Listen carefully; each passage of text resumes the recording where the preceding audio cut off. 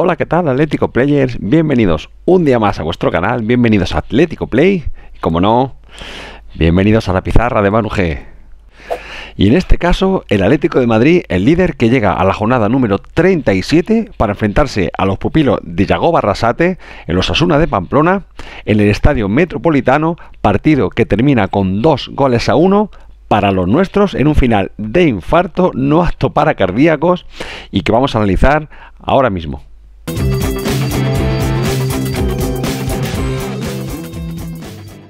Bueno, y para esto, como siempre, lo primero es irnos a nuestra pizarra para comprobar cuál ha sido la alineación que ha preparado hoy el Cholo Simeone para enfrentarse a los de, a los de Pamplona. Pues como podemos comprobar, repetimos 11. Es decir, el último partido contra la Real Sociedad no fue muy bien y el Cholo ha preferido repetir equipo, por lo tanto ha saltado al campo Oblak, Tripier, Savic, Felipe Hermoso, Carrasco, Coque, eh, Llorente, Saúl, Correa y Luis Suárez. Ese ha sido nuestro equipo titular. Ahora, ¿cómo se han organizado en el campo? ¿Qué estructura ha preparado el Cholo para, para este partido? Pues aquí la tenemos. Y como podemos comprobar, repetimos formación. Es decir, un 3-5-2 que veníamos utilizando eh, durante las últimas jornadas, que nos ha, ido, nos ha ido bastante bien. Y aquí lo tenemos, línea de 3 para eh, eh, Felipe y Hermoso, Coque como pivote, carril derecho para Tripiel, carril izquierdo para Carrasco, Coque de pivote, interiores Llorente por la derecha, Saúl por la izquierda y arriba Correa y Suárez. Esta estructura nos está dando muy buen resultado y el Cholo ha decidido con buen criterio repetirla para enfrentarnos en un partido dificilísimo a Osasuna. Y en cuanto al planteamiento de partido, aprovechamos ya y ponemos al Atlético Osasuna también sobre, sobre la pizarra. Hay que decir que el, Cholo ha dispuesto a los jugadores con la predisposición la misma que teníamos en los últimos partidos de liga. Es decir, igual que contra el Elche, contra el Barcelona, contra la Real Sociedad, hemos salido a no especular. Hemos pedido el balón para nosotros, para empezar desde cero a construir y solucionar el partido cuanto antes. No ha podido ser la primera parte porque, como ahora explicaremos, mmm, Yago Barrasate nos tenía preparada una trampa. Eh, venía con intención de puntuar porque, porque se ha preparado un esquema no habitual en él. Em, basándose en un equipo que nos había hecho mucho daño en, en partidos anteriores. Vamos, vamos a analizarlo esto también. Bueno, ¿y a qué me refiero con que eh, los de Pamplona venían con malas intenciones, con ganas de, de puntuar en el Metropolitano? Pues muy sencillo, porque no sé si podéis ver esta estructura de equipo, esta formación, este 5, 2, 3, o sea, línea de 5 defensas, eh, dos mediocentros defensivos como Moncayola y Brasanach y tres puntas rapidísimos como Johnny, eh, Quique Barja y Budimir. Pero lo curioso de esto es que Arrasate no había utilizado esta formación yo creo que en toda la temporada. Él normalmente utilizaba un 4-3-3, un 4-4-2, pero estos cinco defensas y estos, estos dos mediocentros se lo ha copiado claramente a Tuchel, porque sabía que el Atlético de Madrid no ha podido ganarle en los dos partidos al Chelsea. Y lo que ha intentado hacer es copiar su esquema para, para ponerlo complicado en el, en el día de hoy. Lo que no se esperaba Arrasate era que el Cholo también había preparado el partido para jugar contra Osasuna y también había preparado unos movimientos que hasta ahora no se habían visto, que lo vamos a ver. Pero bueno, lo primero que hay que decir es que hemos vuelto a adelantar la defensa al centro del campo, hemos vuelto a nuestro bloque alto, presión arriba, rápida, recuperación rápida de balón. Si a esto lo unimos, si a esto lo unimos unos primeros 45 minutos excelsos de Correa, seguramente los mejores de la temporada. Solo le ha faltado meter un gol o incluso dar una asistencia, porque los primeros 45 minutos de Correa han sido estupendos. Muy bien Correa. Además, eh, tenemos que destacar los movimientos que ha preparado el Cholo para Hermoso, porque hemos visto al Hermoso más ofensivo del año. ¿Por qué? Porque lo que ha preparado el Cholo hoy era unas diagonales hacia adentro de Carrasco, para llevarse a Ramalo, a llevarse a su, a su, a su defensa em, marcador. Con lo, con lo, cual teníamos libre el carril izquierdo para el Mozo que se ha prodigado muchísimo en ataque, recibiendo tanto los balones de Saúl como de Coque. En este movimiento que vamos a ver aquí ahora mismo, más o menos era así una cosa. Carrasco arrastraba para adentro y aprovechaba Hermoso para subir su carril y además lo ha hecho en bastantes ocasiones. Con lo cual estos movimientos no se lo esperaba eh, en los Asuna y la verdad que lo hemos desbordado por completo. Ha sido un auténtico monólogo del Atlético de Madrid que ha sido una pena, una auténtica pena no, no irnos por delante en el marcador porque la primera parte era para haber sentenciado el partido. De hecho, tengo por aquí los números, 16 tiros en la primera parte y un 73% de la posesión. Una auténtica barbaridad, una superioridad absoluta. A estos números hay que sumarle dos postes que hemos, que hemos tocado en la primera parte y una cantidad de llegadas al área inmensa. Pero porque además lo que, lo que destaca de la primera parte es que jugándonos lo que nos estábamos jugando, el Atlético Madrid no ha saltado nervioso al campo. El equipo ha salido muy suelto y ha tenido paciencia, que no pasividad, paciencia, porque ha movido el balón lo suficientemente rápido como para dejar, como para dejar a sus extremos eh, uno para uno, buscando el uno contra uno, que es nuestra ventaja.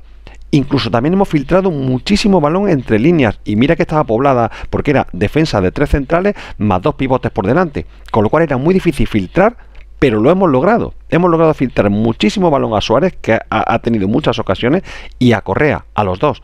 Con lo cual, la primera parte ha sido una pena no irnos por delante. ¿Y qué ha ocurrido en la segunda parte? Bueno, pues hay que decir que los primeros 20 minutos de la segunda parte quizá hayan sido los más espesos del equipo. ¿Y por qué? Pues porque claro, como al sabernos que ya solo nos quedan 45 minutos para llevarnos el partido, nos hemos adelantado tanto eh, en el campo que lo que ha ocurrido, porque no lo he dicho antes, pero el Osasuna defendía con un 5-4-1, como podéis ver, como podéis ver aquí. Pero vuelvo a lo, a lo, que estaba diciendo. Nos hemos adelantado tanto, los interiores se metían tan arriba, tan en la línea defensiva, que lo que nos ha ocurrido es que en la zona de pase, en la zona de creación de fútbol, toda esta zona de aquí, nos hemos encontrado sin futbolistas. Entonces Coque se veía un poco más limitado a la hora de mover el balón, porque los interiores se habían metido muy, muy arriba.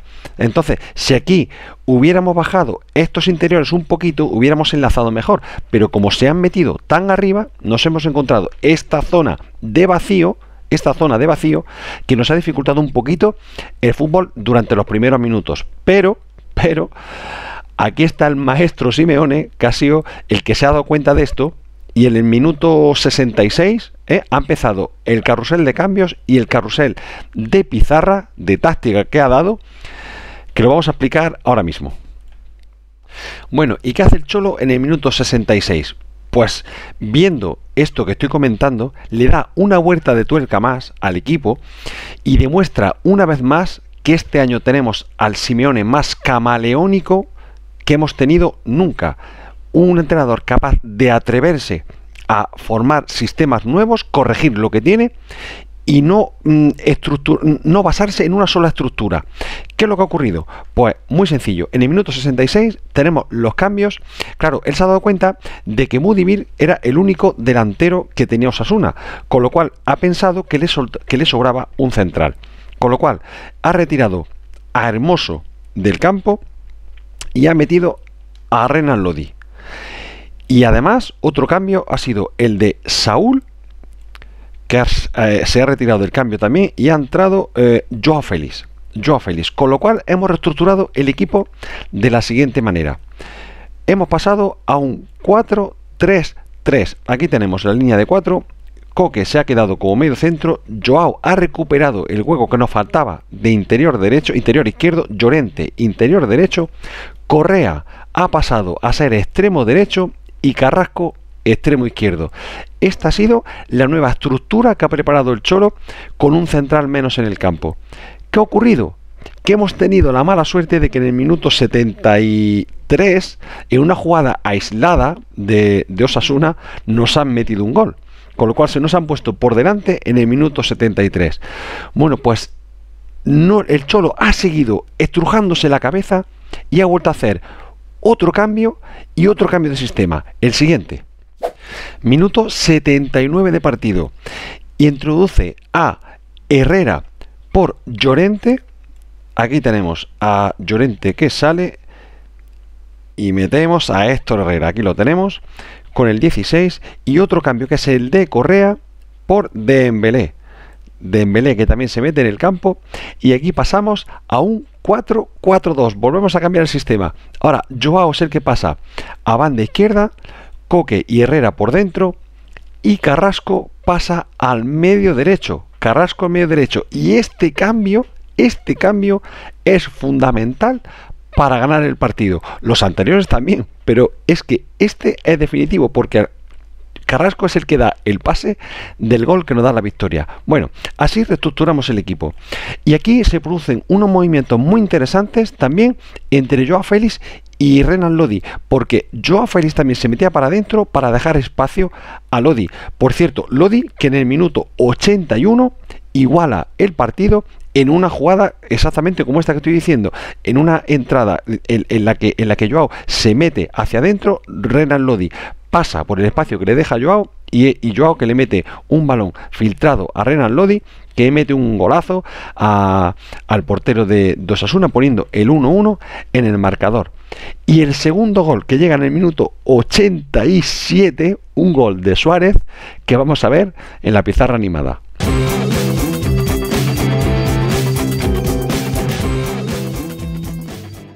Bueno, y ya estamos aquí en la pizarra animada para dejar reflejado en movimiento, porque lo merece, un gol agónico, un gol dramático, como no puede ser de otra manera en el Atlético Madrid, un gol que hace justicia al partido que había hecho nuestro equipo durante todo el partido, un gol que llega en el minuto 87, 88, un minuto o dos antes de, de acabar el partido, pero que además es de una jugada muy bonita una jugada en la que, como he explicado antes, esos movimientos entre Lodi y, y Joao Félix, Joao Félix que se aparta de la jugada, entonces hay una conducción de, Renan Lodi hasta la frontal del área, pero como se junta, se, topa con la defensa de, de, Osasuna, regresa el balón atrás, circulamos y el movimiento interesantísimo de Suárez, que en vez de meterse en el área a esperar un centro, sale a recibir balón, circula hacia la subida de Tripier, que al primer toque deja el balón al espacio a Carrasco, nuestro artista, como hemos dicho en muchas ocasiones, dejar en ventaja a tu artista para el uno contra uno, que gambetea a su, a su central, a Juan Cruz en este caso, centra un pase de la muerte y, y, este Suárez mete un golazo que nos pone por delante en el marcador, ya digo, haciendo justicia a un partidazo del Atlético Madrid. Vamos a verlo. Aquí lo tenemos. Aquí tenemos a Lodi, como eh, entra por el hueco que le deja yo a Félix, se encuentra con la defensa, retrocede, balón va a Coque, Suárez que se abre, apertura, Tripier, Tripier primer toque para Carrasco, Carrasco gambetea, centro y Suárez mete un golazo y ahí tenemos la piña de los jugadores del Atlético Madrid que ha sido totalmente emocionante. Vamos, vamos a verlo otra vez porque, porque yo creo que, que merece la pena. Vamos allá.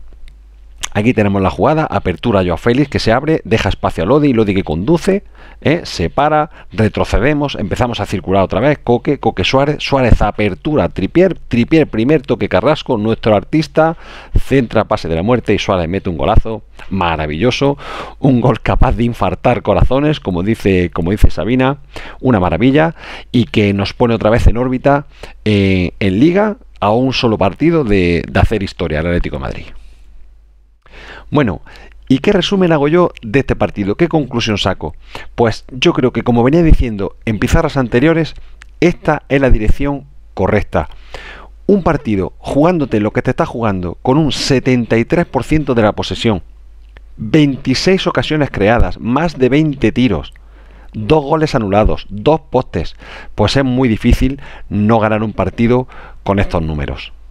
Y segundo, hoy hay que rendirse al Cholo porque ha dado una auténtica lección de cómo un entrenador puede ayudar a su equipo desde su puesto, desde la libreta, organizando al equipo de otra manera, viendo los puntos débiles, como hemos dicho que hemos tenido en, los primeros 20 minutos de la segunda parte.